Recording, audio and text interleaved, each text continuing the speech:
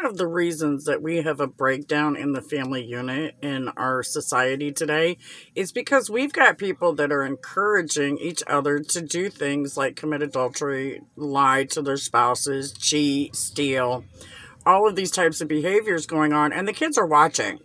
So you've got friends and family members who encourage people who are married to cheat and lie and deceive their spouses.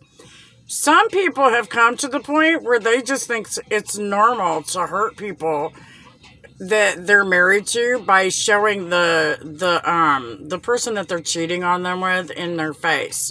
Some people don't even realize that they're doing it, you know, going on social media and stuff and posting pictures when you're married. Not and you know, they don't understand that when you're in a business that makes you look really, really bad and can actually cause your business to be destroyed when you do such a thing as go online and post pictures of yourself with someone other than your spouse.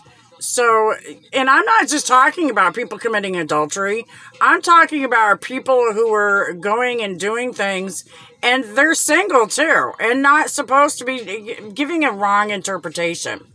So you've got people who are inappropriately doing things and not even realizing because of the way society is viewing people right now, they're not giving an accurate description.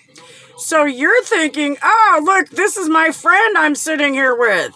But the rest of society, because we're tuned to think all about sex, are thinking it's something completely different than what you've perceived to be doing.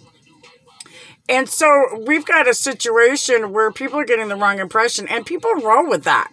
They'll go and they'll um they'll manipulate facts and go with uh, just a picture and it doesn't even have to be anything really risque. It can be something just simple like two people sitting in a park and you've got other people looking on who take happen to take pictures and they're just conversating. They're not together like that. They're two business people but other people take it the wrong way which is why people need to be a little bit more careful when they're using their private social media in order to conduct um, business on. Because when you do things like that, you give a perception that makes you look not good, especially if you're married. And so that's an issue that we need to address amongst our people because when you do things like that in the public and you're a cheater with your spouse, people think that's what you do in your business, and it's not good. It can destroy your business. So that's something you should be telling people in class at college that people just aren't telling people anymore. They just don't care. And those that don't care look even worse. Just saying. With God's love, God bless America. Have a blessed day. And back the badge.